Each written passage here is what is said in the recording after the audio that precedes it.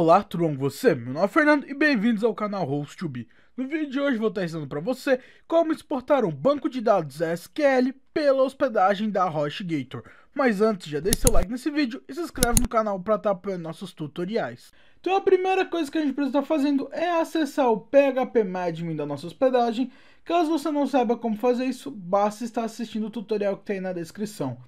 Então após acessar o PHPMadmin, nós vamos então tá aqui na página inicial do PHPMadmin e no lado esquerdo ele vai listar todos os bancos de dados que você tem criado nesse PHPMadmin. Eu tenho apenas um, que é o hostb only underline db, porém se você quiser você pode ter mais.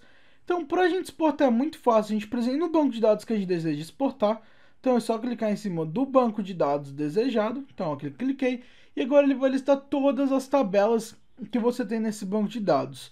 Para a gente estar tá exportando todas as tabelas numa única só, nós simplesmente vamos vir aqui no menu superior e clicar no botão exportar. Na página seguinte, vamos estar na página de exportação e aqui ele vai ter a opção de método de exportação. Nós temos a opção de rápido, que ele, você simplesmente vai botar rápido, vai clicar em executar e tem a opção de personalizado. Caso você queira que alguma tabela não fique dentro dessa exportação, então você pode, por exemplo, tirar tabelas para que elas não sejam exportadas. Tem a opção também dos caracteres de ficheiro e tem diversas configurações mais personalizadas, mais avançadas que você pode configurar para essa exportação. Porém, eu vou deixar o padrão mesmo, então simplesmente vou colocar aqui na opção de rápido.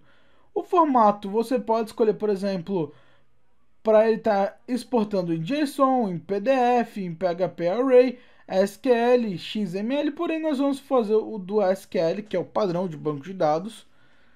E por fim, basta clicar em executar. Então prontinho, após fazer isso, ele executou, exportou e baixou esse banco de dados .sql para o seu computador. E agora você já conseguiu exportar o SQL da sua hospedagem corretamente. Então é isso, se você gostou desse vídeo, deixe seu like, se inscreva no canal para não perder nenhuma atualização. Nos vemos no próximo vídeo, tchau!